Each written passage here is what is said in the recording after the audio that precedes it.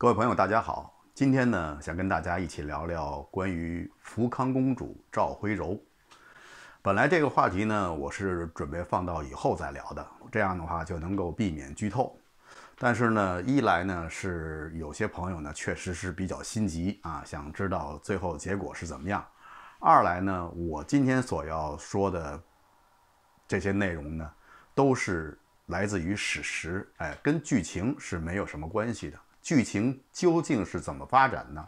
最后结果是怎么样？呃，我是一点不知道啊，我没有看过《古城壁》，呃，也没有事先看过这个《清平乐》的剧情介绍，所以呢，我说的全部来自于史书。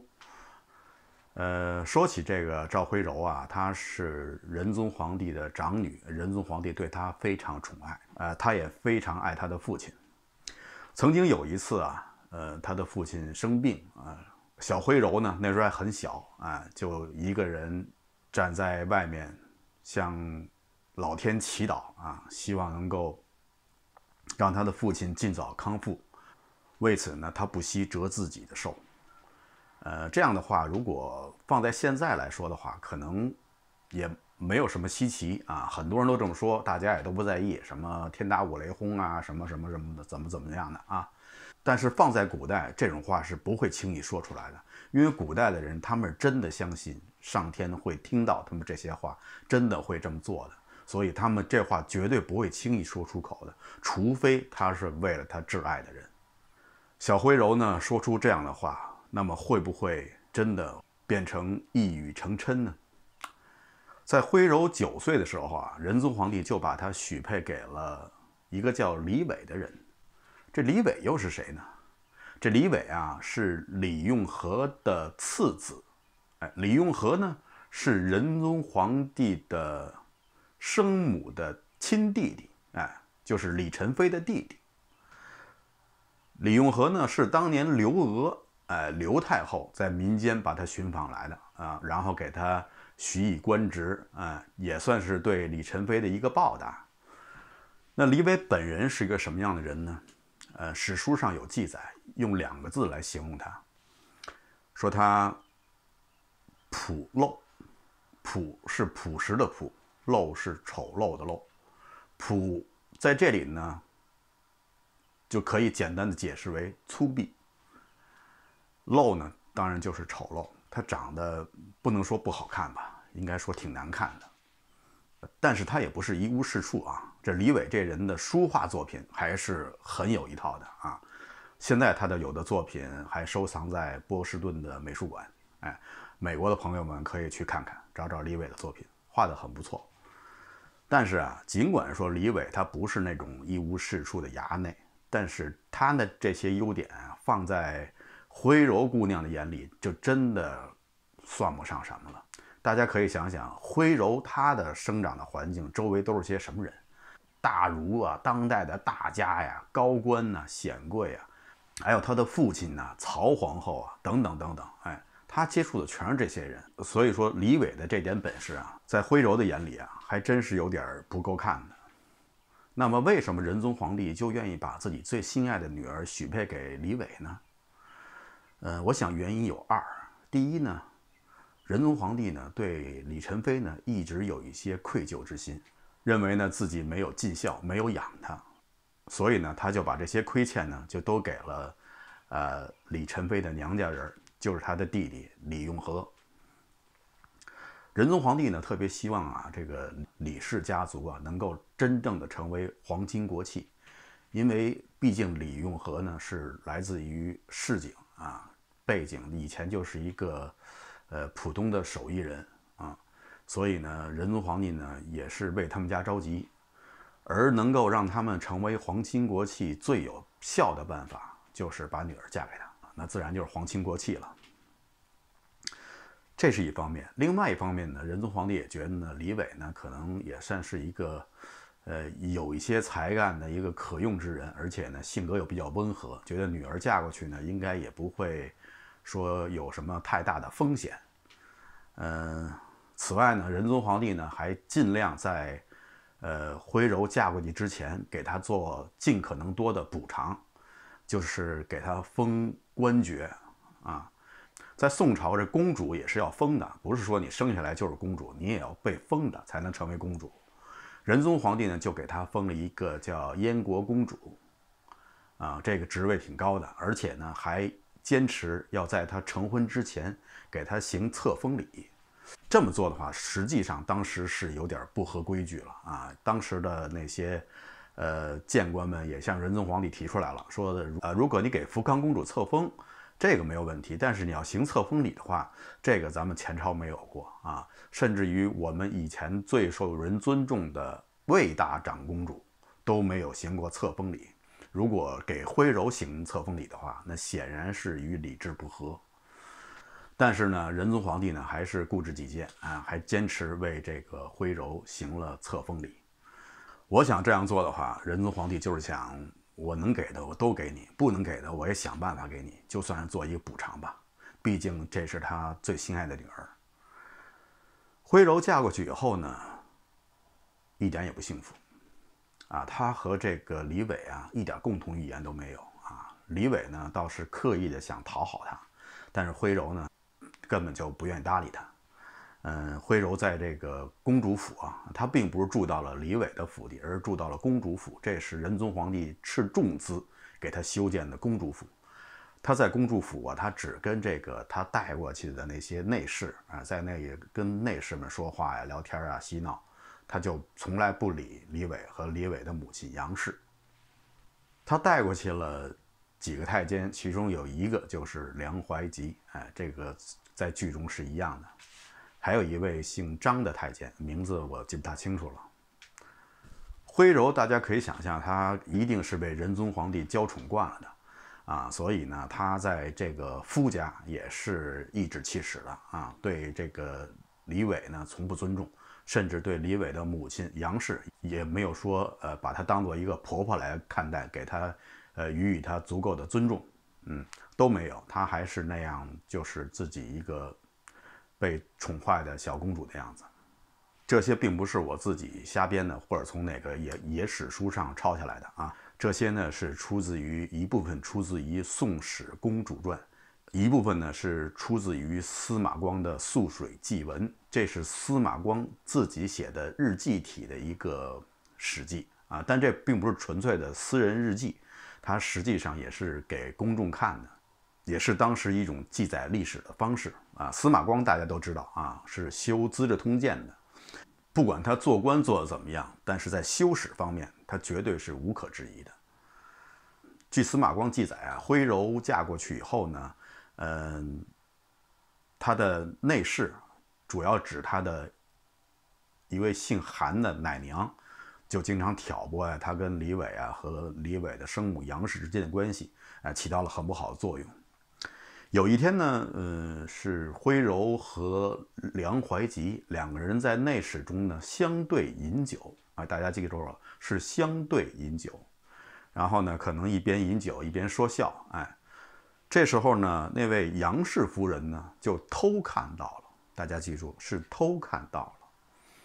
后来呢，徽柔就发现了杨氏在偷看，于是呢就跟杨氏争吵起来，甚至还动了手啊。具体怎么怎么动的手？呃，争吵到什么程度？这个司马光也没说清楚，反正就是起了争执吧。然后呢，李伟呢也也也牵涉进去了，可能是说了徽柔几句，徽柔就非常生气，就离开了公主府，直接奔向了皇宫。那时候已经是夜里了，夜里的宫门已经完全关闭了，没有特殊的情况是不允许进入的。徽柔非常知道这一点，她在宫中长大的嘛。但是呢，这时候他已经不管不顾了，他就使劲的敲宫门。最后那些太监呢也没有办法，虽然说知道违背命令，但是他们也知道这是皇上的爱女，他们也拦不住，最后开了宫门。然后呢，徽柔呢就向仁宗皇帝哭诉。就这件事情啊，当时在朝野中就引起了很大的震动，很多谏官们啊、抬官谏官呐，就给皇帝递折子，说这个。深夜开宫门，尤为阻滞啊！这个是不能接受的，必须要处罚。后来呢，李伟呢也追过来了，也跪在那个仁宗皇帝的面前呀，呃，请求处罚啊，因为认为他觉得自己没有照顾好徽柔公主吧，或者说他觉得闯这么大的祸啊，他也请求处罚。仁宗皇帝呢，最后呢就是有点息事宁人的态度吧，就把徽柔身边的那几个内侍，包括梁怀吉，还有他的那个奶娘韩氏，还有那位姓赵的宦官，呃，给他们进行处罚，把他们发配到了西京洛阳，去那儿去，去那儿去打扫皇陵去了。呃，徽柔公主在得知梁怀吉被贬到西京去扫皇陵以后呢，非常气愤，呃，情绪几近失控。嗯，他据司马光记载，在他的《素水记文》这部书中，说公主或要或欲自缢，或要赴井，或要焚烧这个，或要烧房子。嗯，总之啊，就是情绪完全失控。公主呢，就是要求要把梁怀吉送回来。最后，这个仁宗皇帝呢，也没有办法，就把梁怀吉呢又给调回来了。但是呢，并没有放到公主府，而是放到了。呃，内侍省的前省。呃，在这里呢，我又要跑一下题，说说北宋时期的宦官。呃，大家看这个这部剧哈，我发现这部剧是把宦官真正当人来看的一部剧。以往的那些影视剧哈，一说起宦官，基本上就是两种，要不然就是那种娘娘腔啊，说了说话娘声娘气的。然后呢，心里还极其阴暗啊，好像都有点变态那种感觉似的。要不然的话，就是武功高手，哎，也不知道怎么着，好像只要是一咬牙、一闭眼、一狠心，一刀下去，自己就能变成东方不败了。呃，大家看这部剧里的宦官形象啊，基本上还算比较正常。你看张茂泽也好，梁怀吉也好，还有呃任守忠啊，包括以前的那个严文英。哎，还都算比较正常的。这北宋的太监呀，跟其他的朝代不太一样。嗯，北宋没有出现过宦官专权乱政的这种情况，不像在唐朝末年。嗯，唐朝末年应该是自唐宪宗以后，所有唐朝皇帝基本上都是太监废的、太监立的啊，这是太监专政已经到了不可收拾的地步。我相信。赵匡胤开创北宋王朝之前呢，他他已经看到了宦官专权的弊病，所以他也尽力避免这些事情的发生。首先呢，就是宦官的人数啊大幅度缩减。据说在赵匡胤年代啊，宦官只有五十个人或二百个人。我查资料，嗯，不是很确实，反正人很少，五十到二百人，最多就这么多人。嗯，到了仁宗皇帝这一代呢，情况略有好转，有大概有两千多名太监服务于内侍省和入内内侍省。这个这两个区别呢，就是内侍省基本上服务于前朝的，哎，又叫前省；入内内侍省是服务于后朝的，哎，基本上就是服务于皇上啊、各个公主啊、王妃呀、哎、王子啊、哎，服务这些的。就叫入内内侍省，又叫后省。像梁怀吉呢，以前呢就是在后省，后来呢，等他从皇陵那块调回来的时候，就到了前省。呃，刚才说了，仁宗皇帝的时候呢，大概有两千多名太监。呃，徽宗皇帝呢，大概最多也就是七八千，这已经是到了最多最多的程度了。你要相比较明朝中后期的太监人数的话，大家难以想象是叫什么一个数字，八万。明朝中后期宫内的太监人数是八万，当然这八万是吃饷的，就是拿工资的是八万。实际上呢，因为有很多空饷，哎，就是大家都知道原因嘛。至于为西方的传教士记载说，实际人数也要在两三万左右，所以这人数上就比宋朝的太监人数要多很多。而且这个宋朝啊。太监最高呢能做到都督之，然后下面又分哎副都督之，然后左都督之、右都督之啊。像大家看那个张茂泽，哎，他好像是内侍黄门，应该是一个差不多从九品或九品的一个官员。都督之就是最高了，能够做到六品，哎，像副都督之那就是从六品。差不多就这就到这个职位就到头了。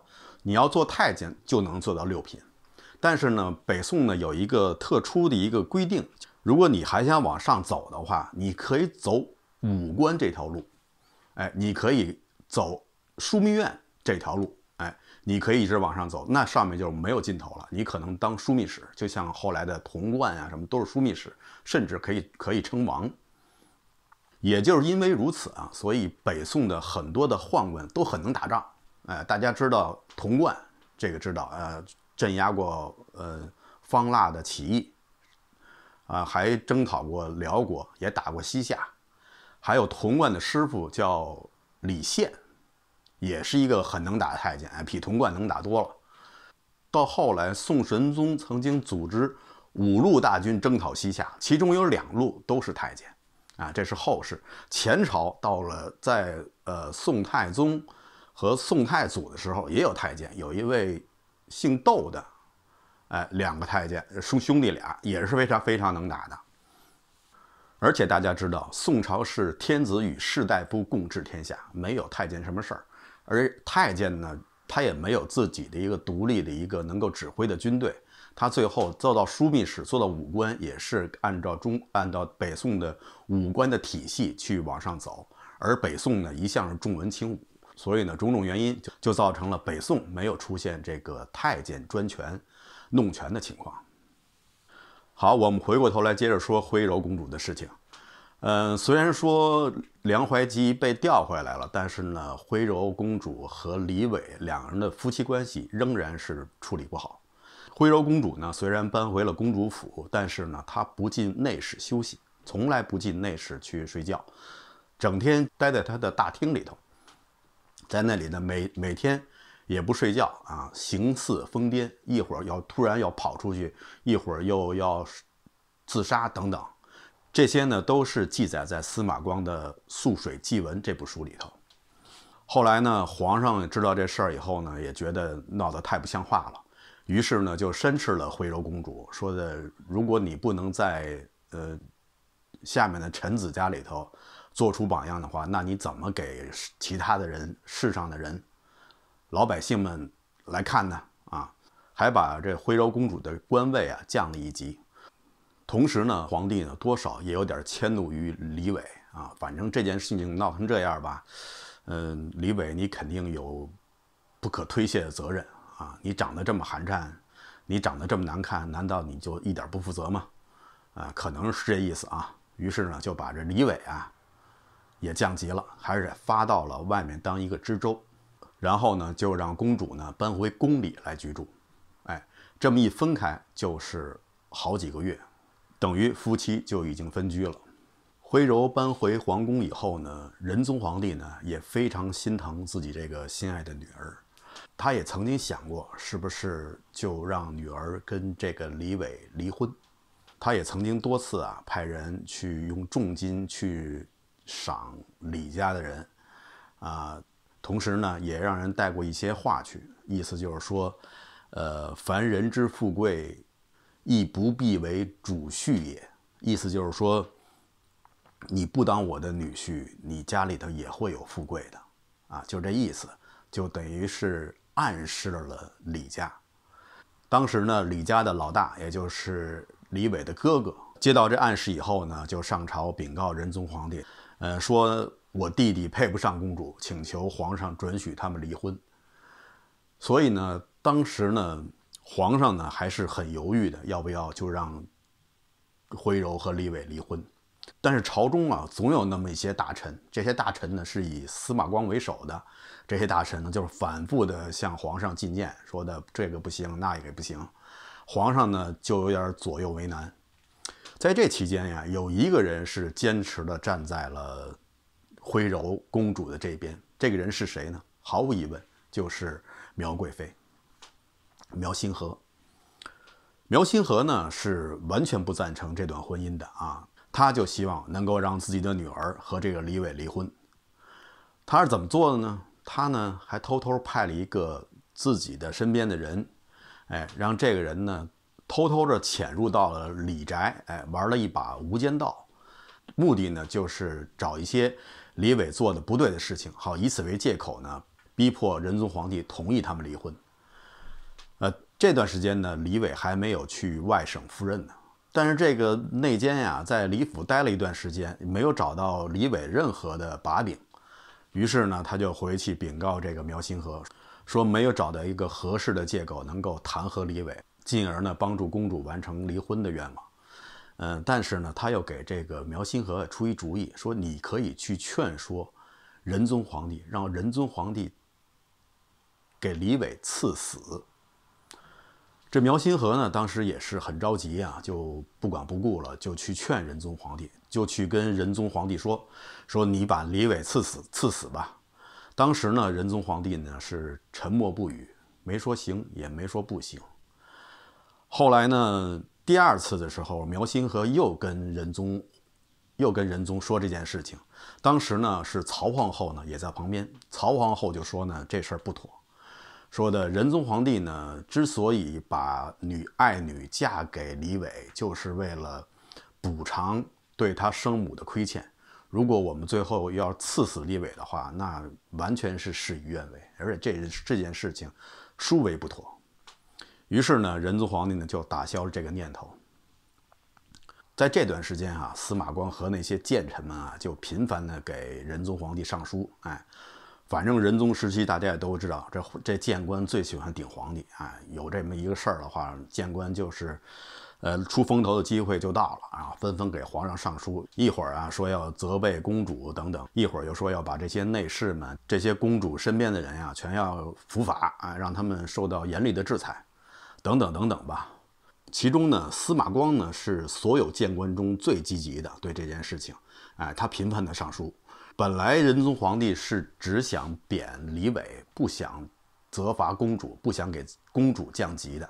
但是呢，也是在这些谏官，特别是司马光的一而再、再而三的那种哎劝谏下，皇上也没办法，只好把公主也降了级。呃，司马光呢还曾经给皇上上书呢，给皇上举一例子，就说的应该让这个公主啊，应该向这个。魏国大长公主学习。说起这魏国大长公主啊，哎，咱们又得跑一下题。这魏国大长公主是谁呢？她是宋太宗的女儿，等于是宋真宗的妹妹，亲妹妹，是他的九妹。这九妹嫁给谁了呢？她嫁给了当时北宋开国元勋李重聚的孙子，叫李遵顼。那这司马光为什么举魏大长公主这个例子呢？其实啊，因为魏大长公主跟李存勖之间有过这么一段类似的经历。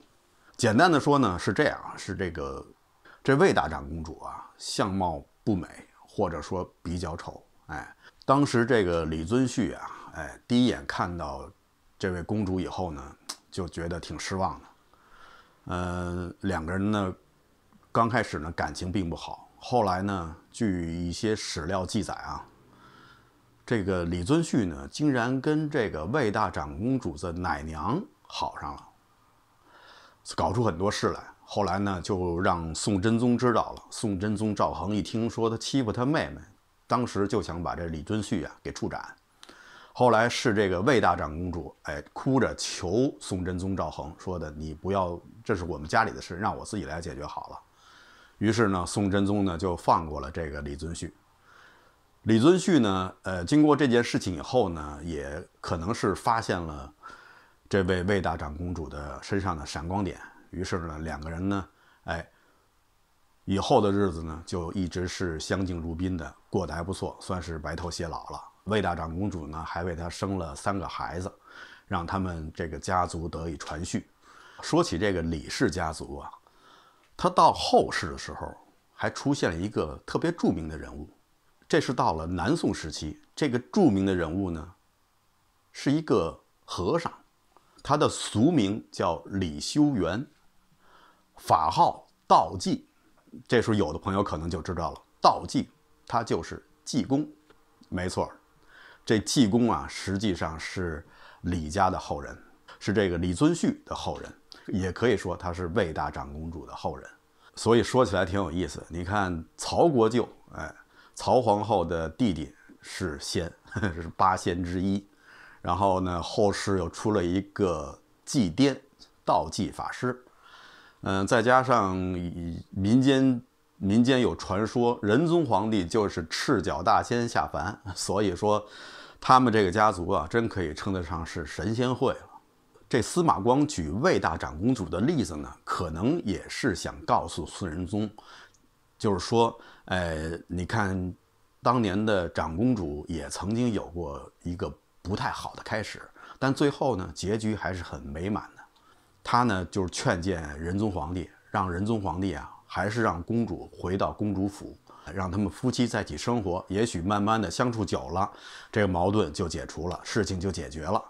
当时呢，朝中还有一个叫龚鼎臣的大臣，哎，这个大臣擅长周易，会算卦，呃，他就给这徽柔公主跟李伟啊这段婚姻卜了一卦，然后结果呢，就告诉仁宗说没事儿，说那个前面可能有点波折。但后面就没问题了，哎，夫妻美满，白头偕老，等等等等。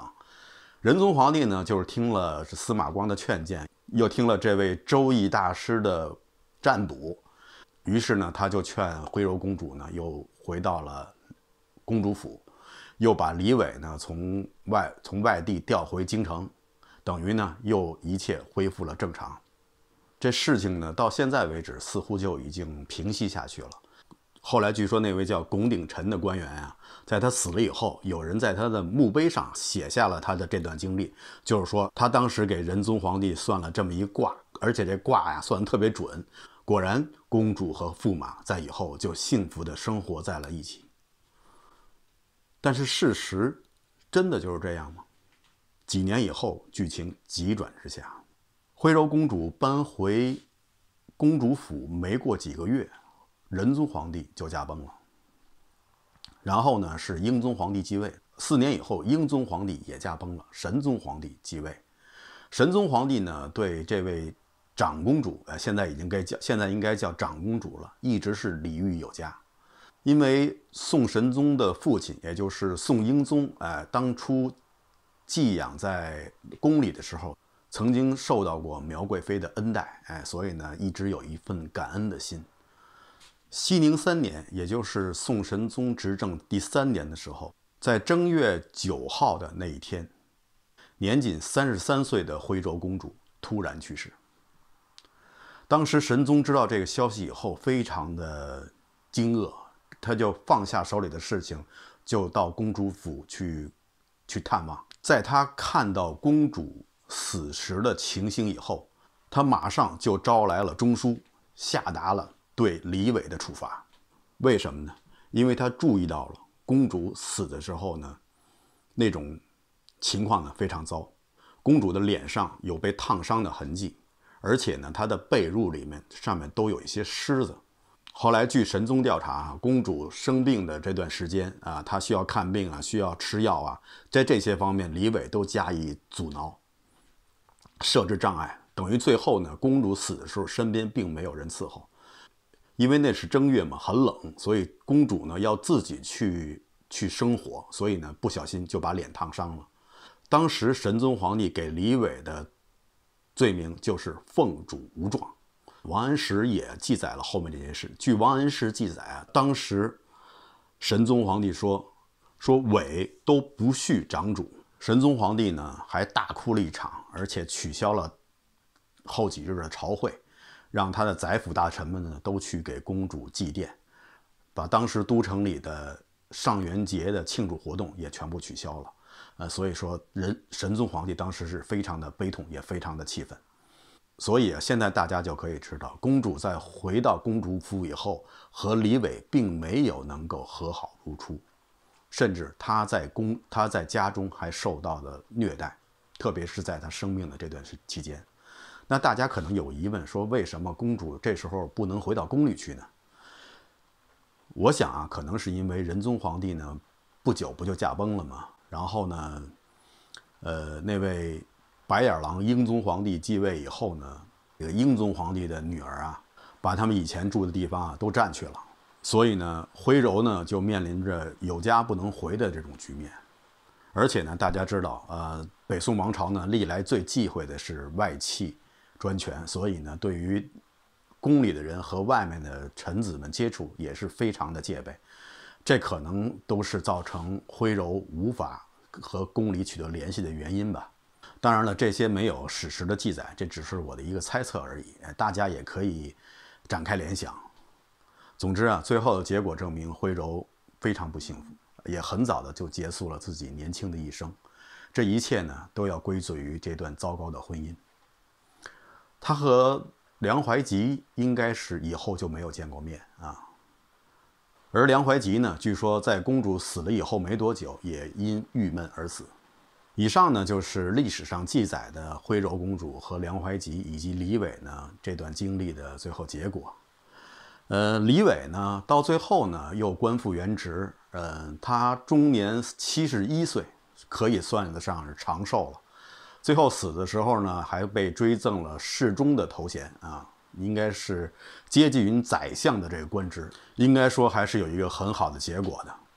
只是可惜了徽柔公主。仁宗皇帝呢，在徽柔婚姻的这件事情上，实际上是做了一个非常非常糟糕的决定。他如果泉下有知，我相信也一定会懊悔不已吧。